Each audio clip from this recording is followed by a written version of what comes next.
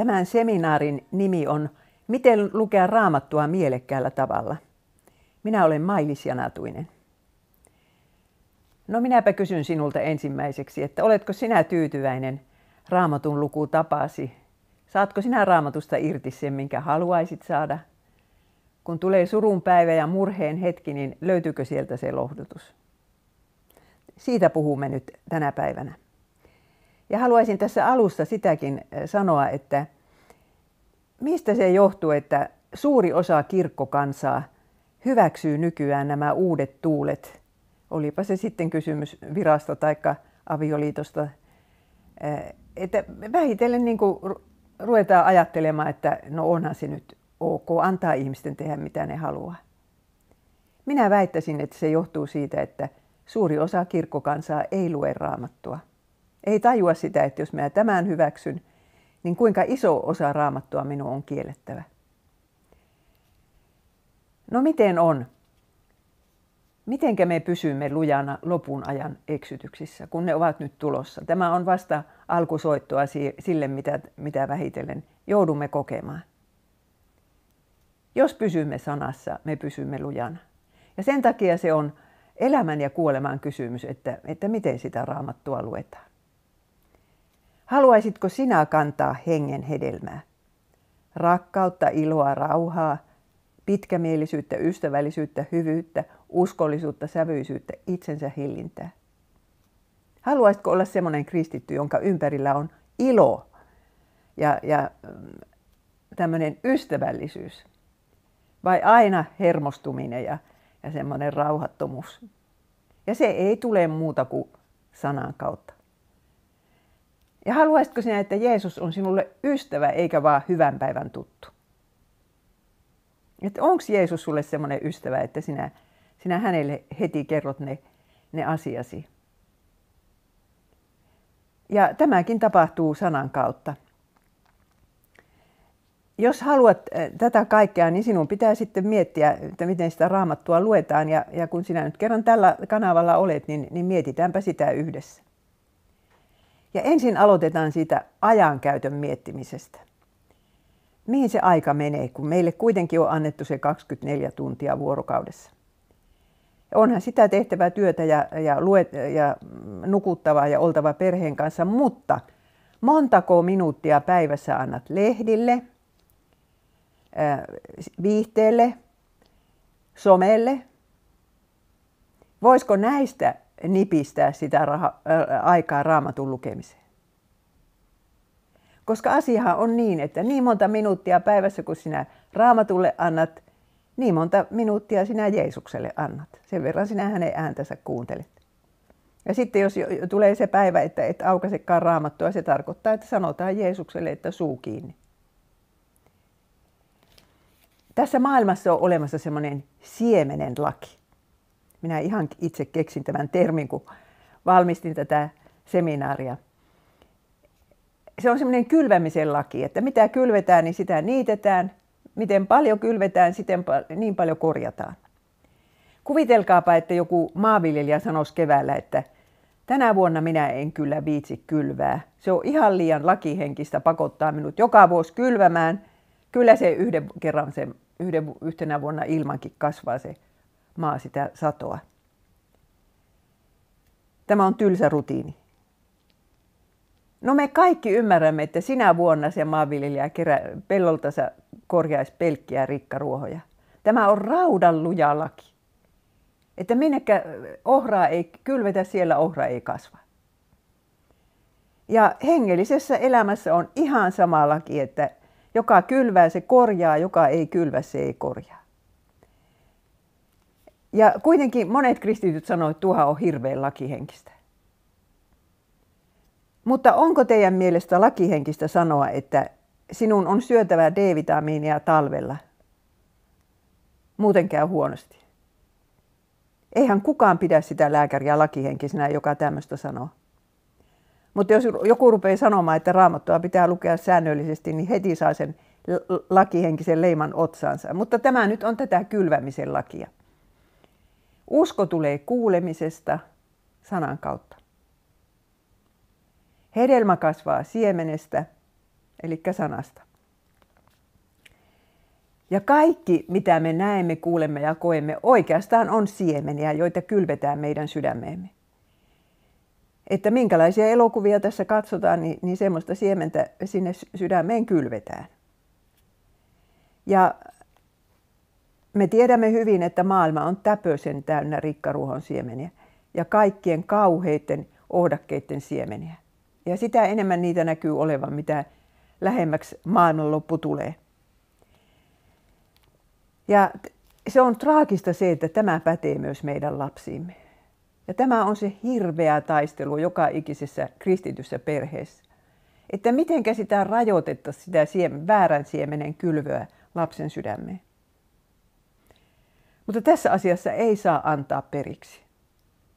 Sitä taistelua on käytävä niin kauan kuin ne lapset siellä kotona ovat, että ne saavat hyvää, oikeata Jumalan sanan siementä sydämiinsä, eivätkä sitä äh, muuta siementä. Ihan, tietysti kyllä he sitä pahaa siementä väkisellä saavat, mutta ei nyt tuntikausia päivässä. Minä olin kyllä aika pahoillani, kun, kun meidän äh, siellä päin, mistä minä olen kotoisin, niin koulu äh, lahjoitti tabletit jo ekaluokkalaisille vai tokaluokkalaisille, ei kun ekaluokkalaisille. Ja minä näen, miten ne tabletit tulevat yhä tärkeimmiksi ja yhä tärkeimmiksi. Äh, no niin, toinen kielikuva, jota Jeesus itse käytti, oli tämä, että ihminen tuo sydämensä hyvästä varastosta hyvää ja pahasta varastosta pahaa. Eli Jeesuskin sanoo, että meidän sydämestä on varasto. Siellä on semmoinen kellarikomero ja siellä on hyllyt ja me täytämme niitä hyllyjä. Ja kaikella, mitä me näemme, kuulemme ja koemme, me pistämme aina se hillopurkin tai se myrkkypurkin sinne, sinne kellarikomeron hyllylle. Ja kyllä me olemme vastuussa siitä, millä niitä täytetään, koska sitten kun olemme ratkaisun paikalla, niin sieltä kellarikomerosta ne sitten nousevat ne meidän rat, ratkaisumme perustelut. Ö, nyt kun meidän maassamme on ja koko, koko maailmassa ollaan ajamassa uutta käsitystä miehestä, naisesta ja seksistä, niin minä olen tuon vanhan testamentin Joosefin kohdalla miettinyt sitä, että miten se poika pystyy vastustamaan kiusausta, kun hän oli ypösen yksin siellä Potifarin talossa. Ja tiesi, että hän helpommalla pääsisi, jos suostuisi sen rouvan ehdotuksiin. Mutta Joosef tiesi, että Jumala näkee sen, mitä kukaan muu ei näe. Joosef tiesi, minkälainen on oikea avioliitto, vaikka hänen, hänen omassa perheessä hän ei ollut sitä nähnyt. Mutta minä olen ihan varma, että Jaakob oli kertonut pojillensa, että ensimmäisissä häissä Jumala sanoi, mies luopukoon, yksi mies luopukoon isästä ja äidistä ja liittykö yhteen vaimoon ja heistä tulee yksi liha. Ja tämä tieto varjeli Joosefia lankeamasta. Ja se varjelee myöskin meidän lapsiamme. Toivon mukaan. No niin, tämä oli siitä siemenen laista, mutta nyt sitten menemme siihen, että raamattu on sekä peili, peili, joka näyttää sulle, miltä, minkälainen sinä oikeasti olet, että Jeesuksen muotokuva, elävä kuva, josta sinä näet, minkälainen Jeesus oikeasti on. Raamattu on näitä kahta. Ja Raamattu on siis peili, joka näyttää sinulle, minkälainen sinä oikeasti olet. Ja sitä muotokuvaahan me emme yleensä haluaisi katsella. Jos joku osoittaa meille meidän virheitämme, niin me suutumme. Ja sen takia raamattua vihataan ja inhotaan nykyaikaan niin suuresti, että suorastaan niin kuin ruvetaan sanomaan, että se sisältää vihapuhetta. Sen takia, että ihmiset ei halua tietää, miltä ne oikeasti näyttää. Mutta jos sinä rupeat lukemaan raamattua, niin sinä et voi varjella itseäsi siltä tietoisuudelta, että mitkä ovat sinun syntisi. Ja se on meille niin terveellistä tietää ja tuntea ne syntimme, että osaamme pyytää anteeksi, että osaamme varoa kiusausta. Mutta sitten raamattu näyttää meille Jeesuksen, joka rakastaa meitä siitä huolimatta, minkälaisia me olemme. Joka haluaa auttaa meitä elämässämme ja pääsemään näistä helmasynneistämme ja joka on kuollut puolestamme ja sovittanut joka ikisen synnin. Raamattu osoittaa sen meille. Ja evankeliumit on ikään kuin Jeesuksen silmät. Ja sen takia niitä käsitelläänkin joka sunnuntai kirkossa.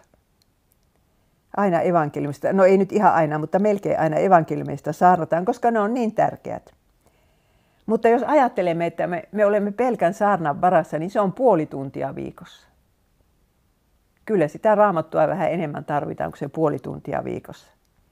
Ja kasvot ovat ikään kuin, Jeesuksen kasvot ovat ikään kuin uusi testamentti, siinä on sitten jo ja myöskin apostolien teot ja kirjeet. Ja koko raamattu on koko Jeesuksen kuva. Että jos ajattelee, että no en mä sitä kolmatta Mooseksen kirjaa lue ikinä, niin se tarkoittaa sitä, että sinulta jää joku kohta Jeesuksesta näkemättä. Että siihen, siihen Jeesuksen kuvaan sisältyy sitten se, se historia, joka oli ennen Jeesusta ja, ja, ja kartat ja, ja kaikki nämä profeetat, milloin ne puhuu ja mitä ne puhuu. Ja, ja se Jeesuksen kuva oikeastaan on, on kuva Jeesuksesta ristillä. Koska hän itse sanoi sillä tavalla, että äh, siellä Emmauksen tiellä, että hän aloitti Mooseksesta ja profetoista ja kertoi, mitä Kristuksen kärsimyksissä, kärsimyksistä on siellä puhuttu. Siis Mooseksessa ja profetoissa, sielläkin kolmannessa Mooseksen kirjassa. Että Jeesuksen kuva on, on se hänen kuvansa ristillä. Ja siitä se rakkaus näkyy. Että kun sinä olet tuhannennen kerran langennut samaan syntiin ja, ja löydät sitten raamatusta sen, sen tiedon, että hän antaa kuitenkin anteeksi. Hän rakastaa sinua kuitenkin.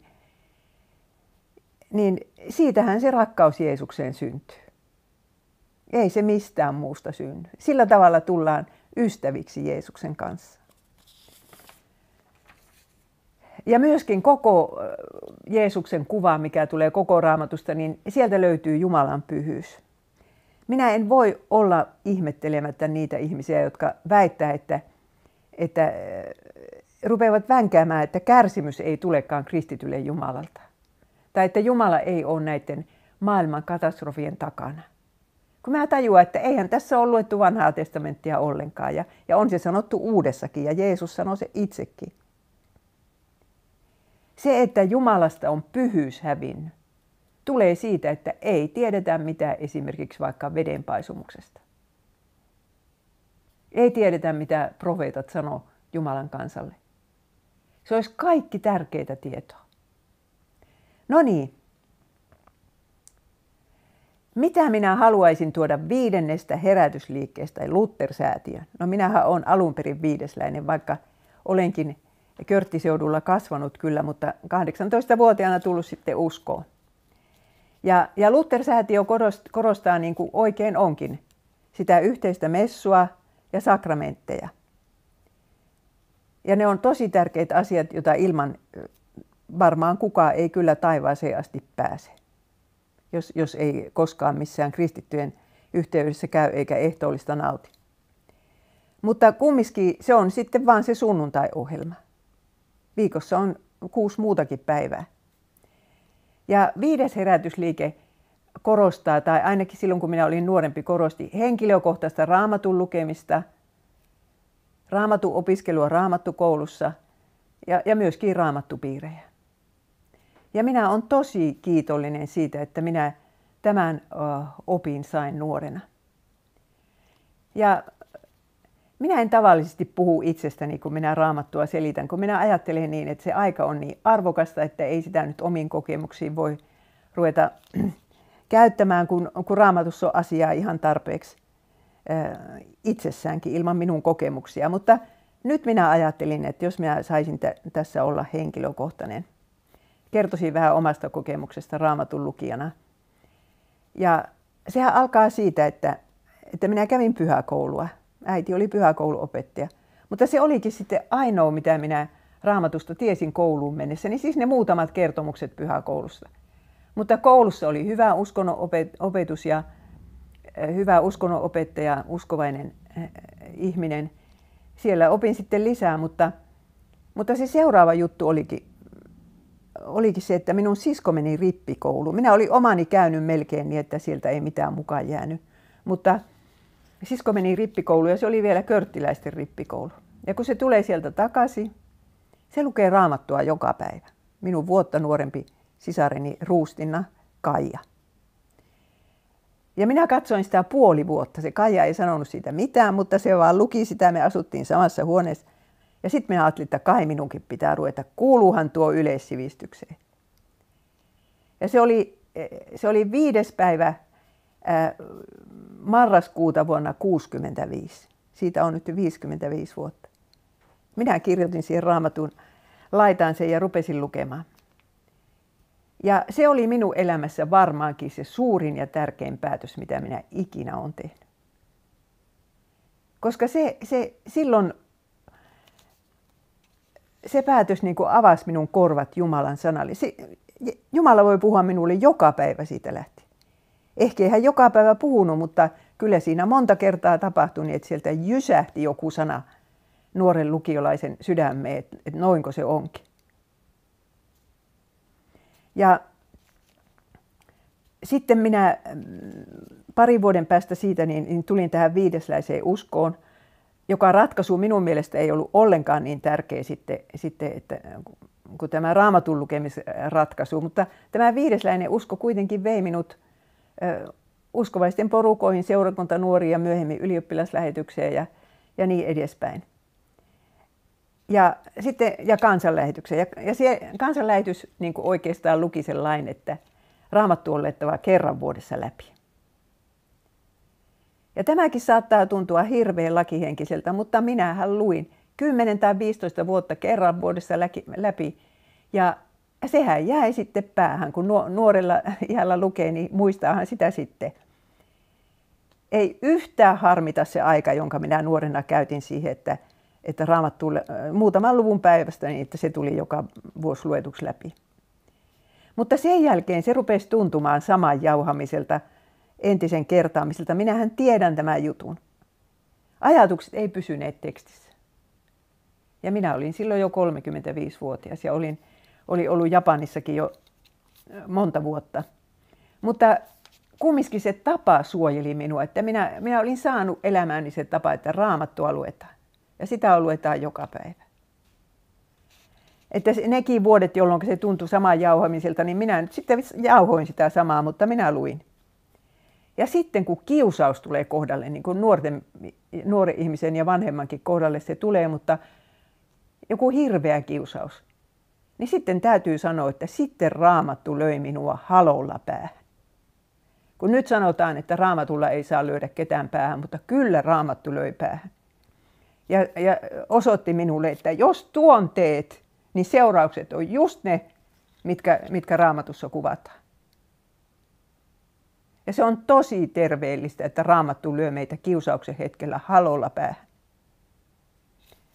Se, se varjelee monesta pahasta. No niin, sitten mitenkä siinä sitten kävi, että raamattu muuttui mulle mielenkiintoiseksi uudestaan. Olihan se ensi alkuun mielenkiintoinen ihan vaan läpiluettunakin. No sitten minä olin lähetyssaarnaaja ja vuosi oli 86. Minä olin Japanin opiskelijalähetyksen leirillä – ja kuinka ollakaan, kun minä sinne leirille lähden, niin, niin minä sairastun.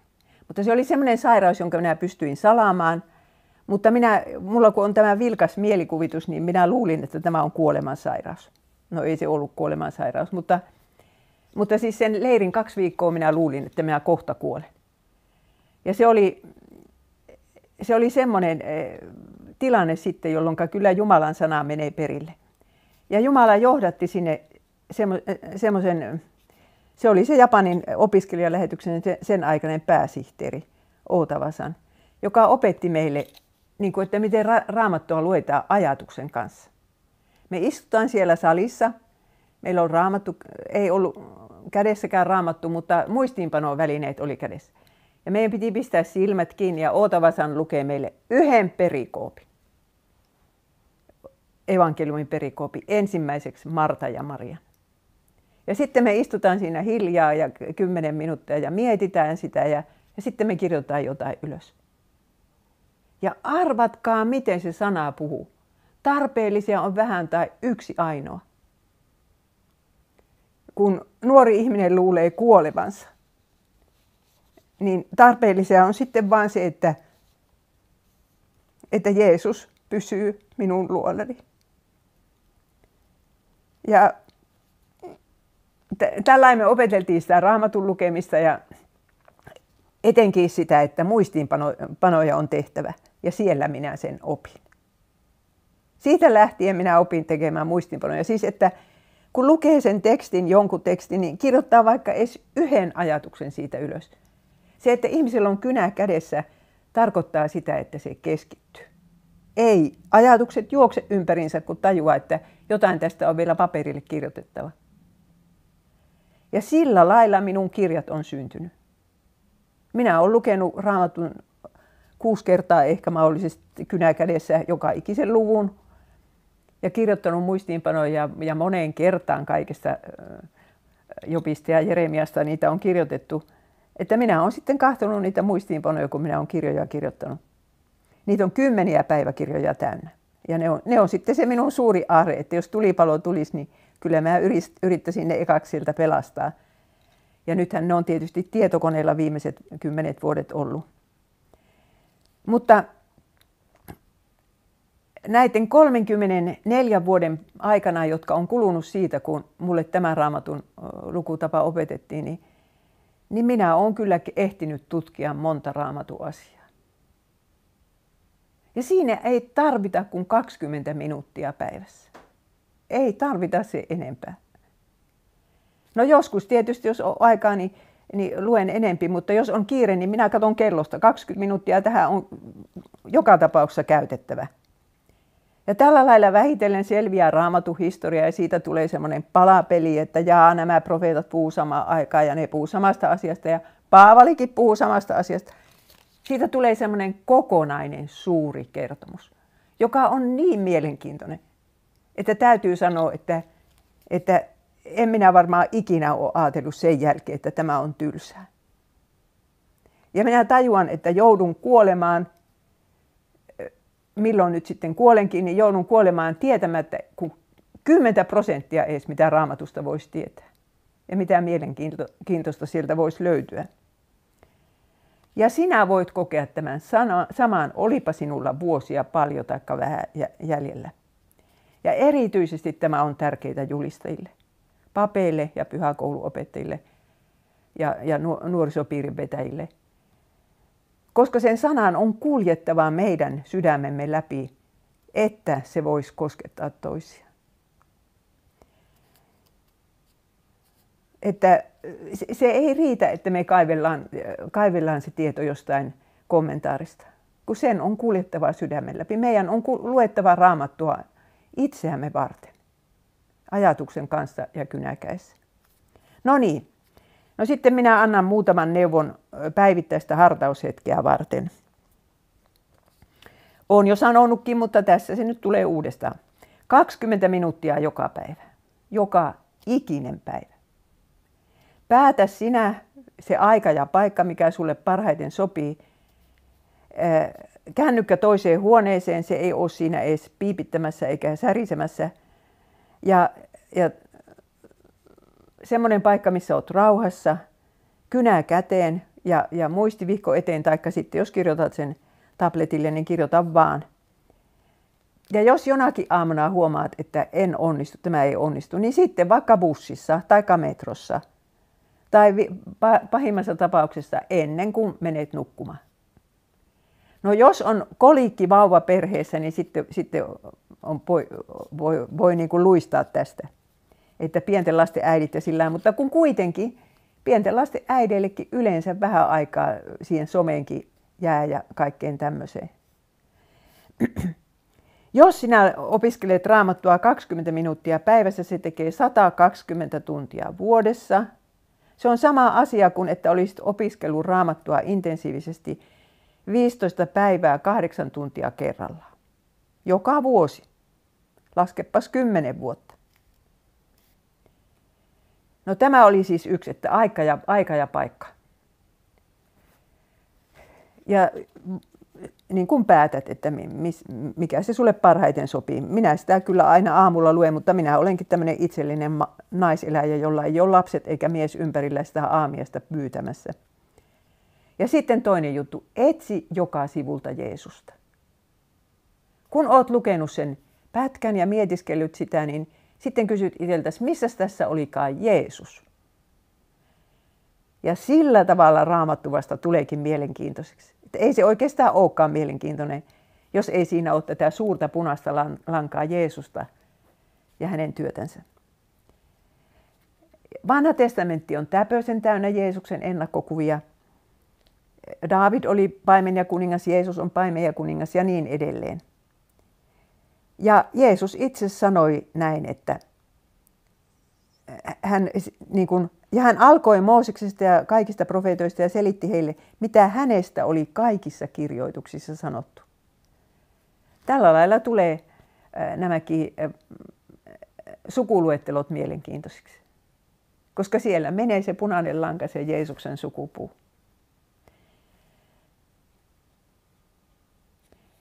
Ja etsi raamatusta myös lohdutusta murheisiisi. Minä en olisi selvinnyt ilman sitä lohdutusta.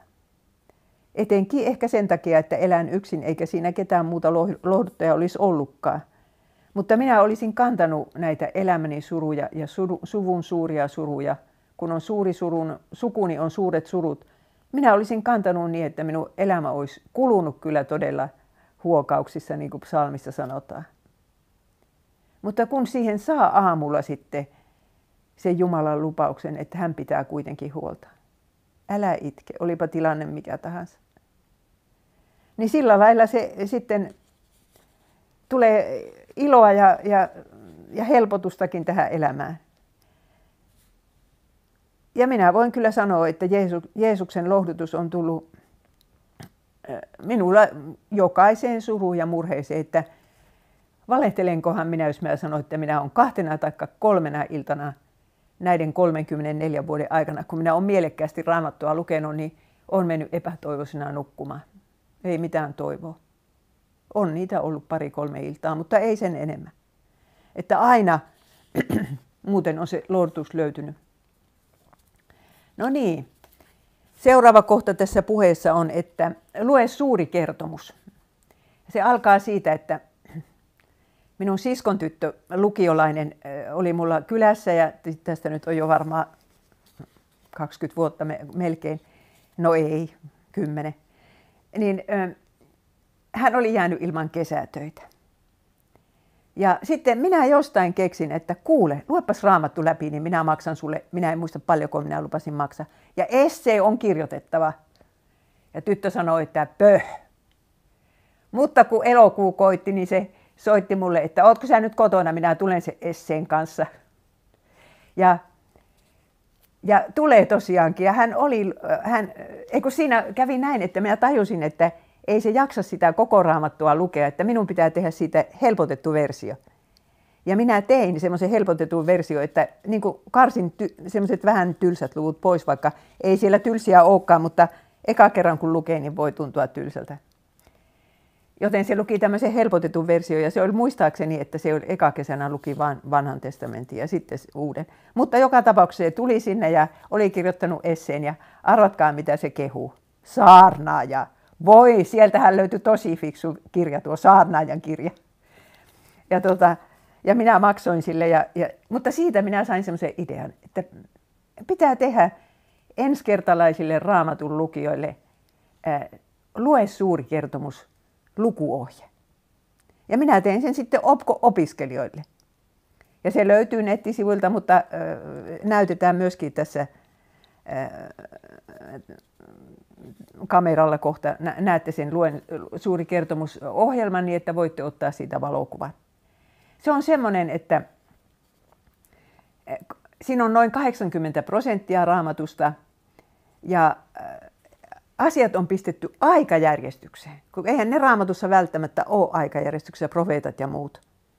Ja Jeremiakin on niin sekava juttu, kun siinä hypitään 20 vuotta sinne ja tänne, mutta minä olen pistänyt ne aikajärjestykseen. Eli siinä se juoni kulkee koko ajan Jeesusta kohti ja, ja sitten seurakuntaa kohti ja uutta luomakuntaa kohti. Ja semmoiset tosi raskas soutuiset luvut hypätään yli että jos nyt teitä on joku tässä katsomassa ja kuuntelemassa, joka ei ole lukenut raamattua läpi, niin lukekaapa sillä lailla. Että joka päivä pitää lukea noin kaksi lukua, niin sillä, siinä pääsee se raamatun läpi. Ja jos lapses saat houkuteltua tähän, niin anna sille se palkinto, niin kuin minä annoin sille siskon tytölle. Ja sitten täytyy sanoa, että kuka sitä kissa häntää nostaisi, jos ei kissa itse. Minun täytyy nyt vähän mainostaa tässä omia kirjojani, mutta kun minä olen kirjoittanut ne huonon raamatun lukijan avuksi. Että saatavilla on nyt neljä raamatun lukukirjaa, Job, Jeremia, Mooses ja Salomo. Ja Divarista voi sitten kysellä Davidia, Paavalia, Eliaa, sitten nainen ja hänen miehensä, josta on 19 naisen elämänkerta, ja sankareita ja pelkureita, jossa on 10 raamatun miehen elämänkerta. Ja minä olen ne taustat selvittänyt, kartat selvittänyt, missä mitenkin tapahtui. Ja, ja vielä kun mulla on tätä mielikuvitusta, niin minä olen pikkusen kuvitellut, miltä niistä tuntuu, kun kaikki tämä niille tapahtui. Mutta minä en ole mitään lisännyt sinne omasta päästä, mitään tapahtumia. Että ne on, voisi sanoa, että tämmöisen postmodernin ajan raamatun kommentaaria, että siinä on se tarina. Nykyään suuret firmatkin haluaa tarinan. Ja raamattu on täpöisen täynnä näitä tarinoita. Ja minusta se on niin suuri vahinko, että raamatun opetusta vähennetään kouluissa, että se henkilö, joka on ymmärtänyt näiden raamatun tarinoiden merkityksen, vaikka ei ole edes itse kristittykään, on Jordan Peterson. Se, se, se sanoo suoraan, että koko läntinen sivistys nojaa näihin tarinoihin. Ja niillä opetetaan sekä moraalia että Jumalakuvaa. Ja nyt minä nyt ehdotan siis sulle, joka oot mielestä suona raamatun että osta nyt yksi minun kirja. Ja se 20 minuuttia, jonka sinä päivässä käytät raamattuun, niin aloita se nyt sillä, että kynä kädessä, se pitää olla se kynä. Ja alleviivaat sieltä ja luet yhden kirjan. Ja jos vaikka, vaikka Salomosta aloitat, niin, niin no ei tarvitse siitä aloittaa, mutta nämä on kaikki to, neljä tosi mielenkiintoisia, Job, Jeremia, Mooses ja Salomo. Mutta esimerkiksi Salomon kohdalla, niin minähän laskin siellä, että montako kiloa kultaa meni sen temppelin seiniin. Ja, ja kuinka paljon se Salomo rahtasi sitä kultaa ulkomailta. Ja, ja kaikki nämä laskin tarkkaan ja, ja vetäsin, kun tehdään tämä kaikkein pyhin, niin mitä se sitten tarkoittaa Uudessa testamentissa ja Jeesuks, mitä se sanoo Jeesuksesta. Ja kaikki nämä langat on vedetty valmiiksi niin kuin teitä varten sinne.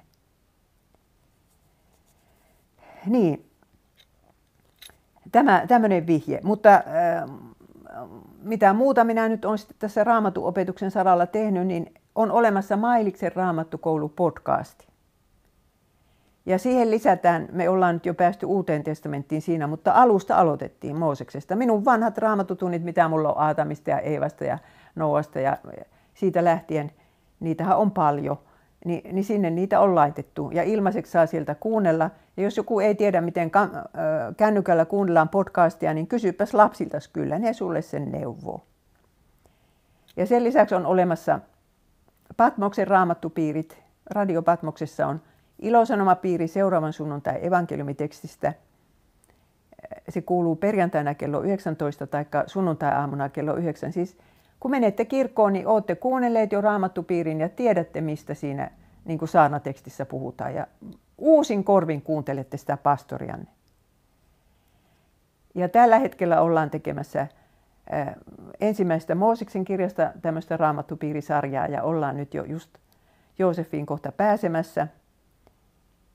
Ja se tulee aina torstaisin kello 20. Ja jos ei teillä Radio Patmos kuulu, niin kuuluuhan se sitten netistä. Mutta oikeastaan minä haluaisin Luthersäätiössä tehdä, aloittaa semmoisen Lue suuri kertomus kurssin. Ne, jotka haluaisi opetella oikein raamatun lukemista kunnolla, niin pidettäisiin kurssi, kokonainen päivä tai viikonloppu. Ei semmoista ole koskaan pidetty eikä pyydettykään, mutta minä nyt tässä vihjasin, että jos tarvetta olisi, niin kyllä minä voisin. Etkö sinä siis tahtoisi tehdä tänä päivänä sitä suurta päätöstä, että rupeat lukemaan raamattua joka päivä? Sitä päätöstä sinä et ikinä tule katumaan. Ja siitä jää perintö vielä lapsillesi ja lapsenlapsillesi, kyllä ne muistaa sen, että isä ja äiti, mummo ja ukki, kummitati, että ne luki sitä raamattua. Ja mulla on perintönä tämä entisten sukupolvien raamattu, jonka minä sain oman ukkini syntymäkodin tallin pintiltä, mutta minulla se on nyt suurena aarteena. Nyt kun minä olen teille tässä, tässä tämmöistä äh, selittänyt, että miten sitä raamattua on luettava, niin kyllä mä loppuun haluan kertoa sen, että mikä voima on raamatun sanalla, vaikka ei olisi kuin kolme sanaa. Että jos te ajattelette, että liian vähän tuli lapsille opetettua, niin sitten, sitten pyydetään, että se mikä opetettiin, niin se kantaisi hedelmää. Ja se on tämmöinen juttu, että viime vuonna, vai oliko se toissa vuonna, tuli tänne Helsinki yksi japanilainen rouva, jota minä en edes tuntenut, mutta minä tunsin sen seurakunnan, mistä hän tulee Tokiosta. Joten sen seurakunnan evankelista kirjoitti mulle, että tämmöinen Aukisan on tulossa, että, että ota nyt se vastaan. Ja että se käy ilosanomapiirissä siellä, siellä Japanissa ja häntä ei ole kastettukaan. No minä otin sen vastaan ja kävi ilmi, että tämä Aukisan on oikein Suomen ystävä, että se on käynyt, sanoiko se 30 kertaa täällä ja hän saa hermolepoa, kun hän kiertää Suomen metsiä. Se osasi Nuuksion paljon paremmin kuin minä. Minä kävelin sen perässä Nuuksiossa yhden päivän. Ja sitten kyselin siltä kaikkea, että no mitenkä sinä kristiuskosta alun perin kiinnostuit? Niin se sanoi näin, no kun se Paavi tuli käymään Japanissa. Ja minä näin sen televisiosta ja se sanoi nämä kolme sanaa, usko, toivo ja rakkaus. Ja ne sanat jäi pyörimään minun mielessä, että mitä se tarkoittaa, että usko, toivo ja rakkaus. Ja minä en voinut koskaan unohtaa niitä kolmea sanaa. Ja, ja sitten, minä en muista kuka sen sinne kirkkoon kutsui, mutta joka tapauksessa sitten se sieltä kirkosta löysi ne kolme sanaa. Ja ajatelkaa sitä, että näillä kolmella sanalla oli semmoinen teho, että minä olen nyt teille tässä saarnannut, että, että raamattu pitää lukea kannesta kanteen ja niin poispäin, mutta minä haluan sanoa tässä lopuksi, että ei siihen tarvita kuin kolme sanaa. Että se usko voi syntyä. Ja voidaan olla iloisia siitä, että olemme saaneet kuulla raamattua ja saamme kuulla sitä, sitä sunnuntaina kirkossa. Ja minkä verran sitä nyt on luettu, kukaan nyt ei varmaan kovin tyytyväinen siihen ole, mutta että uskomme nyt siihen, että se kantaa hedelmää meidän lastemme ja lastenlastemme elämässä. Mutta tässä lopussa mulla on vielä harjoitus. Ja se on semmoinen harjoitus, että nyt tulee screenille Luukkaan 10. luvusta jakeet 38-42 se Martta ja Maria. Ja te luette nyt tätä tekstiä kaikessa rauhassa muutaman minuutin. Mietitte, mitä siinä sanotaan, mitä tapahtuu Martalle, mitä tapahtuu Marialle ja sitten mitä Jeesus haluaa sanoa teille ja kirjoitatte jotain ylös. Ja tämä on se tämän seminaarin päätös. Ja minä uskon, että sinä saat tästä jonkun, jonkun niin kuin kokemuksen ja, ja uuden alun, kun tällä tavalla teet, kun minä nyt neuvon. Jos et ole hyvä kirjoittamaan, niin kirjoita vain yksi lause. Mutta jos olet hyvä kirjoittamaan, voit kirjoittaa muutamankin lauseen. Ja huomaat, miten se raamatun sana sinulle puhuu. Siunausta tähän suureen projektiin raamattuun tutustumiseen. Hei hei!